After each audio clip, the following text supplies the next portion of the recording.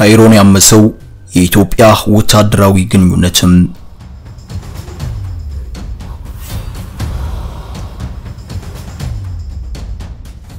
የኢትዮጵያ ጉዳይ በቱርክ ፓርላማ ክፉኛ አጨቃጭቋል። የፓርላማው ያልተለመደ ጭቅጭቅ ግብጾች ከጀርባ ሆነው የለኮሱት እሳት መሆኑም ተረጋግጧል። በዚሁ ፓርላማ ላይ ሽንጣቸውን ገትረው ለግብጽ የተከራከሩ የፓርላማ አባላቱ ከኢትዮጵያ ግብጽ ትበልጥብናለች ብለው አርፈውታል። ግን ደግሞ አልተሳካላቸውም።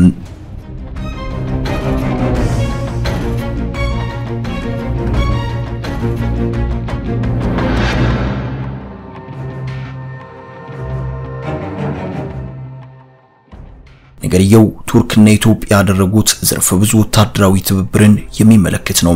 በኢትዮጵያ ወታደራዊ አቅም ግንባታ አይናቸው የሚቀላው ግብጾች ደግሞ ይኸው የኢትዮ ቱርክ ስምምነት ወደ ቱርክ ፓርላማ ከማምራቱ በፊት በፓርላማው ተቀባይነት አግኝቶ እንዳይጸድቅ በድብቅ ከመጋረጃው ጀርባ ሆነው ሲጣጣሩ ነበርም። ነገሩ የሚገርም የፖለቲካ ድራማ የሚወጣውም ነው። አንዳንድ የቱርክ ገዢ ፓርቲ አባላት ከግብጽ ሰዎች ጋር መረጃ ሲለዋወጡም ነበር ተብሏል። ከዚሁ ጋር በተያዘም በአሁኑ ሰዓት የቱርክና ኢትዮጵያ ጥብቅ ያለ ወታደራዊ ግንኙነት የግብጽ ባለስልጣናትን ክፉኛ አስጨንቋል። ሁለቱ ሀገራት እጅግ ሰፊ በሆኑ ወታደራዊ ግንኙነቶች ውስጥ አብረው ለመስራት አንድ ወሳኝ የትብብር ፊርማ ከተፈራረሙ በኋላ ስምምነቱን ወደ መሬት ለማውረድ የሁለቱም ሀገራት ፓርላማ በየራሱ ስምምነቱን መርምሮ በፓርላማው የውጭ ግንኙነት ኮሚቴ ማስጠናት በጀመረበት ሰዓት ነው ግብጾች የጀርባ ጨዋታ የጀመሩትም። በተለመደው ዓለም አቀፋዊ አሰራር መሰረት አስፈጻሚው አካል ከአንድ ሀገር ጋር አንድ የሆነ ስምምነትን ይፈራረማል። ከዚያ በኋላ ስምምነቱ ተመርምሮ ወይንም በየሀገሩ ፓርላማ ይጸድቃል። በመሆኑም ስምምነቱን ተከትሎም ነው ወደ ዝርዝር አፈጻጸም የሚገባው። በዚህም መሰረት ህወሓት ወደ አዲስ አበባ እየገፋው ነው ባለበት ወቅት ወደ ቱርክ ያመሩት ጠቅላይ ሚኒስትር አብይ አህመድ በፈረንጆቹ ነሐሴ ወር 2021 ላይ በቱርክ አንካራ በመገኘት ከቱርኩ ፕሬዝዳንት ሬሲፕ ጣይብ ኤርዶጋን ጋር የወታደራዊ ትብብር ስምምነትን የተፈራረሙበት ሁኔታ ነበርም። ይህ ስምምነት በአረቡ ዓለም በተለይም ከግብጽ ጋር በተያዘ በብዙ መልኩ በስፋት ሲራገብ ቆይቷል። ሁኔታውን በቅርበት ሲከታተሉ የነበሩት ግብጾች ይኸው የጠቅላይ ሚኒስትር አብይ አህመድና የኤርዶጋን ስምምነት ቢያንስ በቱርክ ፓርላማ እንዳይጸድቅ መከላከል ነበረባቸው። እናም የቱርክ ፓርላማ ሰዎችን በአንድም ይሁን በሌላ መልኩ የማግባባት ዲፕሎማሲ ስራን ጀመሩ። ግብጽን እያስተዳደረ ያለው ገዢ ፓርቲ የፓርላማ አባላት ለግብጽ ሐሳብ እንደማይንበረከኩ ግልጽ ነው። በመሆኑም የግብጽ አግባቢዎች ወይንም ሎቢስቶች ዋነኛ የትኩረት አቅጣጫ የቱርክ ገዢ ፓርቲ ተቋሚ ሆነው የሕግ መወሰኛውን ምክር ቤት የተቀላቀሉት የፓርላማ አባላት ላይ ሆነ። እዚህ ጋር አንድ ልብ ሊባል የሚገባው አንድ እውነታም አለ። የቱርክና የግብጽ ግንኙነት ቀደም ባሉት የኢትዮጵያ ሂደቶች በተለይም የግብጽ ጎረቤት ሀገር ከሆነችው ሊቢያ ጋር በተያያዘ የሻከረ መሆኑ ነው። የሁለቱ ሀገራት ግንኙነት መሻከር ደግሞ በሂደት ለኢትዮጵያ ጥቅም፣ በአንጻሩ ለግብጽ ደግሞ ከባድ የፖለቲካ ኪሳራ ሆኖ የታየው የግብጽ ቱርክ ዲፕሎማሲያዊ ግንኙነት መሻከርን እንደ መልካም ዕድል በመጠቀም ከቱርክ ጋር ያላትን ዘርፈ ብዙ ግንኙነት ወደ ስትራቴጂክ አጋርነት ከፍ ለማድረግ ጠንካራ የፖለቲካ ስልትን ቀይሳ የተንቀሳቀሰችው ኢትዮጵያ በእርግጥም በዚህ አቅጣጫ ግብጽን በብዙ ጥፍ በልጣታለችም። ቱርክ ለየትኛውም ሀገር በማናቸውም መልኩ አጋር ብትሆን በእጅጉ ጠቃሚ የሆነች ሀገር ናትም። ከጂኦፖለቲካዊ ጠቀሜታዋ እስከ ኢኮኖሚ የእድገት ምጣኔዋ ብሎም እጅግ እየዘመነ እስከመጣው ወታደራዊ አቅሟ ድረስ ቱርክ መርጦ ለሚወዳጃት ሀገር እጅግ ጠቃሚ ነችም። የኢትዮጵያ መንግስትም ይህንን ሀቅ በርቀት መነጽር ተመልክቶ ይመስላል የኃይል አሰላለፉን ከቱርክ ጋር ማድረጉን የመረጠውም። በተለይ ደግሞ በወታደራዊው ዘርፍም ቱርክ ተፈጥሮ በሰጣት አቀማመጥ እጅግ ዓለም አቀፋዊ ስትራቴጂክ ቦታ በሚባሉ አውሮፓንና እስያን በተለይም ደግሞ መካከለኛው ምስራቅን ከአውሮፓ ጋር በሚያስተሳስረው ወሽመጥ ውስጥ የምትገኝ ሀገር ናትም። የአውሮፓ ደቡብ ምስራቃዊ ክፍል፣ የምስራቅ ሜዲትራኒያን፣ የጥቁር ባህር ክልል እንደዚሁም የካውካሰስ ዋና ዋና የጂኦፖለቲካ ተዋናዮች ለወታደራዊና ኢኮኖሚያዊ የበላይነት ሀያላኑ የሚፋለሙበት ቦታ ላይ ነው ቱርክ የምትገኘው። ከዚሁ ጋር በተያዘም አሜሪካ፣ አውሮፓ ህብረት፣ ኔቶ፣ እስራኤል፣ ሩሲያ፣ ግሪክና ግብጽ በዚሁ አካባቢ ጥብቅ የሆኑ ስትራቴጂካዊ ፍላጎቶች አሏቸው። የኩርዶችና የፍልስጤሞች ፖለቲካ የሚቦካውም በዚሁ አካባቢ ባለው የጂኦፖለቲካዊ ግብግብ ነው።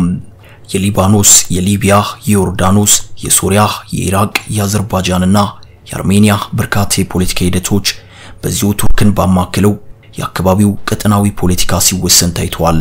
የአካባቢው ጂኦፖለቲካዊ ተጽዕኖ እስከ በሩሲያ ዩክሬን ጦርነት ድረስ እየዘለቀም ነው።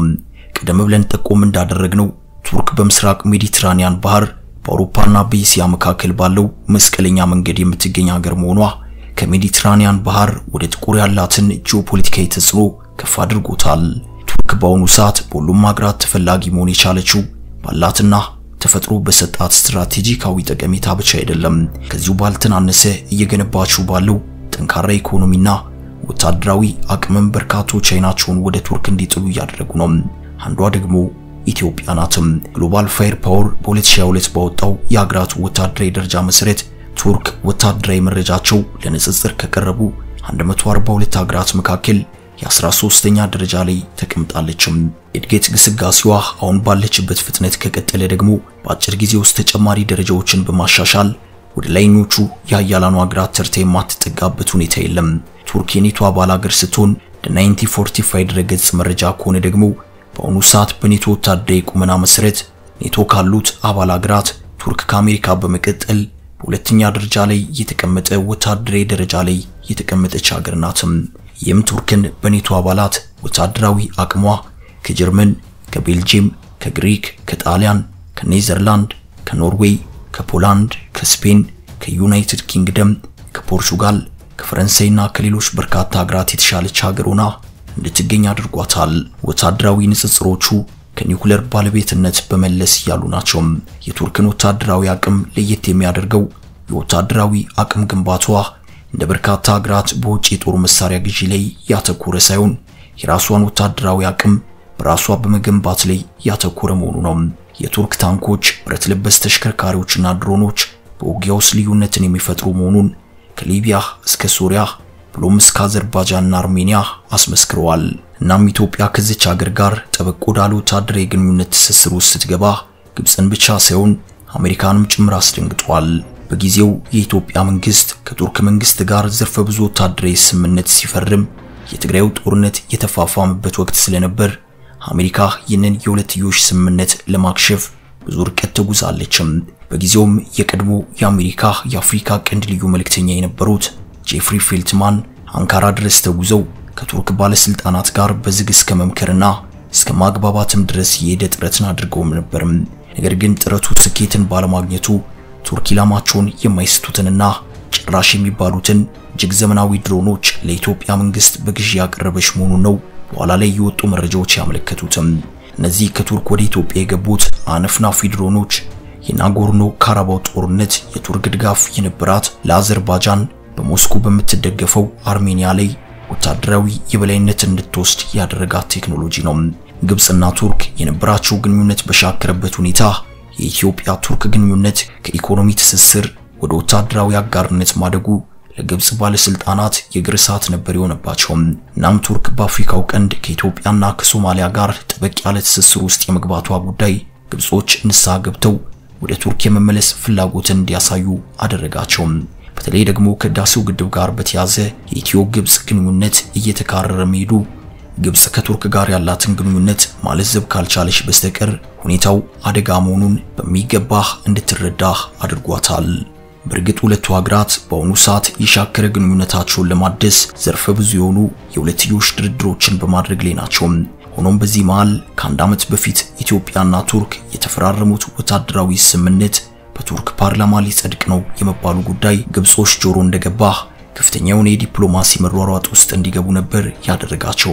እዚህም ግብጽና ቱርክ የሻከረ ግንኙነታቸውን ለማደስ የሁለትዮሽ ድርድር እያደረጉ ባሉበት በአሁኑ ሰዓት የቱርክ መንግስት በ2021 ከኢትዮጵያ ጋር የተፈራረመውን ወታደራዊ ስምምነት በፓርላማው ለማጽደቅ የማቅረቡ ጉዳይ በቱርክ ፓርላማ ውስጥ ውጥረት የፈጠረ መሆኑን የኖርዲክ ሞኒተር ዘገባ አመልክቷል። የኤርዶጋን መንግስት በሌላ አቅጣጫ ኢትዮጵያና ቱርክ የተፈራረሙትን ዘርፈ ብዙ ወታደራዊ ትብብርን በተመለከተ ፓርላማው እንዲያጸድቁ ያቀረበው የስምምነት ረቂቅ በፓርላማ ውስጥ ከባድ ክርክር ያስነሳ መሆኑን የው የኖርዲክ ሞኒተር ዘገባ አመልክቷል። የቱርክ መንግስት በ2021 ከኢትዮጵያ ጋር ዘርፈ ብዙ የወታደራዊ ስምምነቶችን ያደረገው ሆኖም እስከዛሬም ድረስ በቱርክ ፓርላማ ቀርቦ የይሁንታ ውሳኔ ሳያሳርፍበት ቆይቷል። ባለፈው ማክሰኞ በፓርላማ የውጭ ጉዳይ ኮሚቴ ይሁንታ የተሰጠው ይኸው ስምምነቱ ከኢትዮጵያ ጋር ወታደራዊ ግንኙነቶችንና የመረጃ ልውውጥን ለማሻሻል ያለመ ነው ተብሎለታል። እኛ ከግብጽ ጋር የነበረንን የሻከረ ግንኙነት ለማሻሻል በአንድ አቅጣጫ እየተደራደርን ባለንበት ሁኔታ፣ በሌላ አቅጣጫ ደግሞ ከህዳሴው ግድብ ጋር በተያዘ የግብጽ ባላንጣ ከሆነችው ኢትዮጵያ ጋር ወታደራዊ ስምምነትን ማጽደቅ ምን ይሉታል በማለት የቱርክ ገዢ ፓርቲ ተቃዋሚዎች ሽንጣቸውን ገትረው እየተከራከሩ መሆኑ ታውቋል። ተቃዋሚዎቹ አክለውም የመንግስት የውጭ ጉዳይ ፖሊሲ ወጥነት የሌለውና አቋም ቢስ ነው በማለትም በሰላ ትችት የሞገቱ መሆኑን ይኸው ዘገባ አክሏል። ቀደም ብለን ጠቆም ለማድረግ እንደሞከርነው ይኸው ዘርፈ ብዙ የሆነው የኢትዮ ቱርክ ወታደራዊ ስምምነት የተፈረመው እንደ አውሮፓውያን አቆጣጠር ነሐሴ 18 ቀን 2021 ጠቅላይ ሚኒስትር አብይ አህመድ በቱርክ አንካራ ባደረጉት ይፋዊ ጉብኝት ነበርም። እነዚሁ ኢትዮጵያና ቱርክ በመከላከያው ዘርፍ በጋራ ለመስራት በሶስት ክፍሎች የተከፈሉ አንኳር ስምምነቶችን ነበር የተፈራረሙትም። በዚህም መሰረት ስምምነቶቹን ወደ መሬት በማውረዱ በኩል ስለሚኖረው የገንዘብ መዋጮ፣ ወታደራዊ የፋይናንስ ትብብርና የወታደራዊ ማዕቀፍ ስምምነትን ነበር ጠቅለል አድርገው የተፈራረሙትም። በስምምነቱ ውስጥ የትብብር መስኮች በጋራ ወታደራዊ ልምምዶችና ከጦርነት ውጪ በሚደረጉ እንደ ሰላም ማስከበር፣ ሰብአዊ እርዳታና የባህር ላይ ወንበዴ ተግባራት ላይ በጋራ ለመስራት መስማማታቸው የሚታወስ ነው። ከዚህ ባለፈም ሁለቱ ሀገራት በመከላከያ ኢንዱስትሪ ውስጥ በጋራ ለመስራት ወታደራዊ መረጃን ለመለዋወጥ በጋራ ሎጂስቲክስ ድጋፍን ጭምር ለመደጋገፍ ብሎም በጦር መሳሪያ ግዢና ድጋፍ ሚስጥራዊ መረጃዎችን ጭምር መለዋወጥን ባካተተ መልኩ ነው አብረው ለመስራት ስምምነት ላይ የደረሱትም። ከዚሁ ጋር በተያያዘም የኢትዮጵያ ጦር ኃይሎች ኢታማዦር ሹም ፊልድ ማርሻል ብርሃኑ ጁላ ቱርክ ድረስ በመጓዝም የቱርክን ግዙፉን ዓመታዊ ወታደራዊ ልምምድም እስከ መከታተልም እንደደረሱ የሚታወስ ነው። ነገርየው በአሁኑ ሰዓት ለግብጾች ጅብ ከሄደ ሆኖባቸዋል። አበቃን። ሰላም ለዓለማችን ይሁን። ሰናይ ጊዜን ተመኘን።